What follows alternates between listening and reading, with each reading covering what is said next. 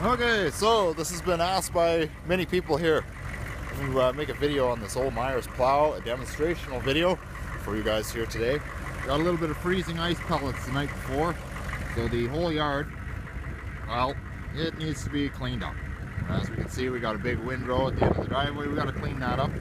I'm gonna let the truck warm up. I parked the uh, the plow facing the sun so that the plow pump will actually kind of warm up. Uh, I have a bit of a problem when it's really cold outside with the plow pump. Sometimes it's really sluggish, so I just kind of park it in the sun to uh, allow the fluid to warm up. I'm just gonna, you see the windshield's all froze up, so I'm just gonna let it thaw out. And uh, let it warm up for a bit. And we'll get started. We'll uh, make a few passes here in the yard and uh, clean up the yard a bit here.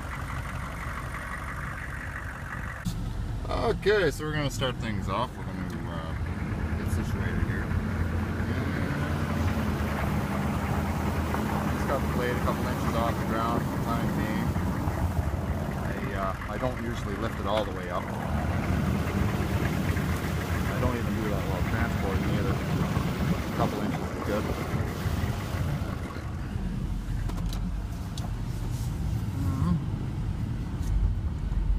This stuff is all ice pellets. It's a little more difficult to try and navigate through.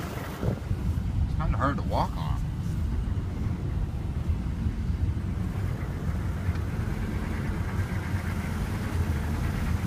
Some people have a hard time getting through it.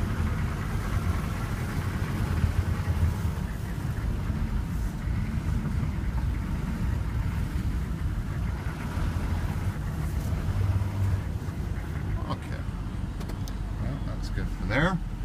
Now we're going to start off. I'm just going to um, float down until it, the blade just touches the ground.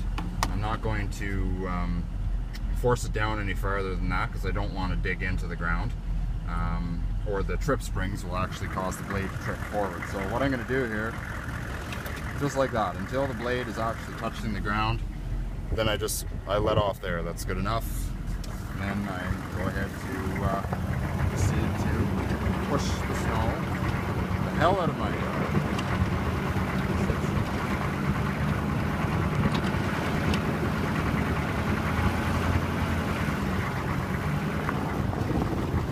Right down to the very end.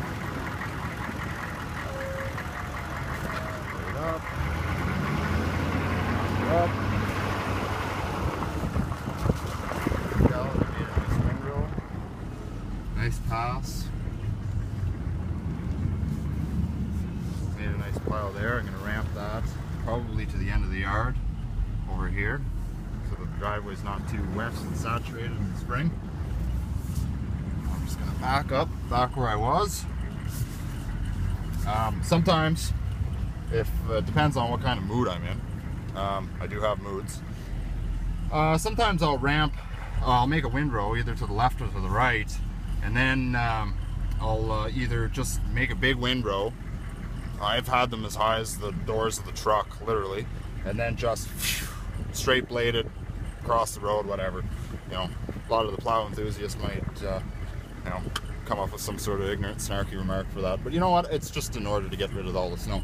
So, but usually I just, nine times out of ten, I usually just straight blade it, uh, kind of like this, because I have all the time in the world. So I'm just gonna um, uh, float the blade down until the blade just touches the ground. I could always push the button more and notice that the blade actually curled in a little bit. Um, I don't usually do that because the cutting edge will actually, you know, dig right into the ice and whatever else, and the trip springs will just, you know, there's no point. And uh, I don't go very fast with it either. I mean, just moderate speed. You know, the transmission never leaves first gear. It's basically like this.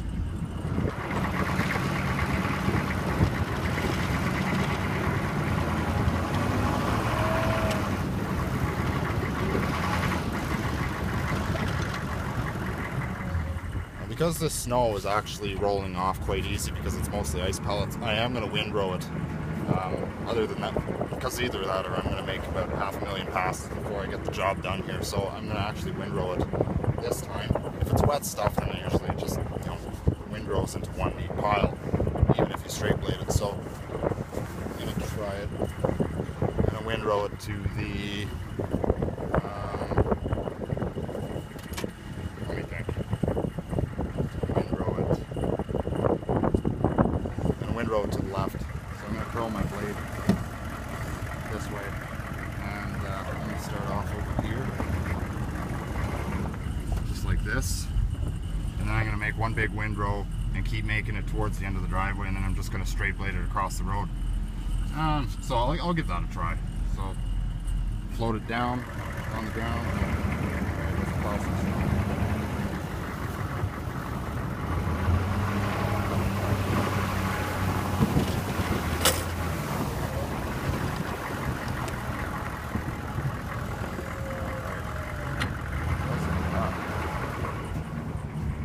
It's pretty straightforward. So I'm going to keep doing that um, until I make my windrow all the way down to the end of the driveway. Because it's just uh, the plow blade is freshly clear coated and fresh paint on it, and I freshly waxed it too not too long ago. So it actually uh, the snow slides right off it. Like I mean, literally just like butter.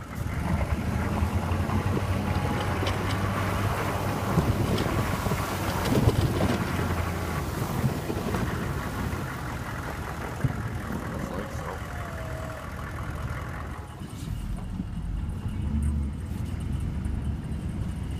So uh, a little bit of scientific uh, mumbo jumbo about this plow. It's an old Meyers plow. It's an E47 pump, I believe, that's on it. Um, it's it's old. I mean, the pump could be rebuilt. There's no doubt about it. That won't be this year. I'd probably end up just replacing the pump. Uh, they are discontinued, but uh, they do make rebuild kits for them, and that they last forever. apparently, I'm told, so.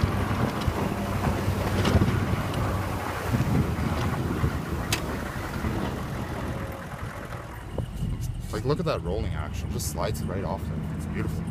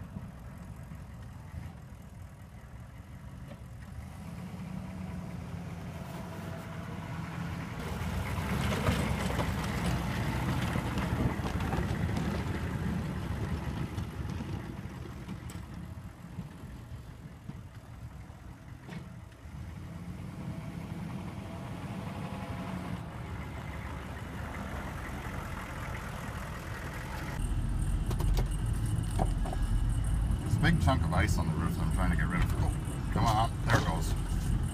Ah. All right, so right now I'm just uh, cleaning up a little bit here. It's right in front of the door, so I don't have to backblade it. This uh, this plow wasn't all that great for backblading. All right, so I'm gonna back up a bit. The blade was too high.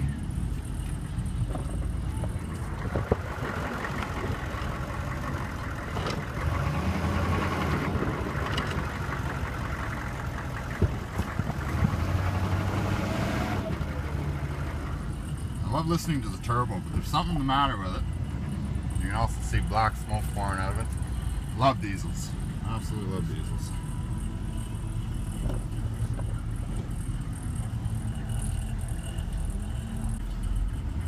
I never plow into the banks either. I kind of give the truck a bit of a, a bit of a chance. You know, I don't like to abuse my equipment either so I don't hit ice heaves either at 30 mile an hour because that's not really good on the equipment.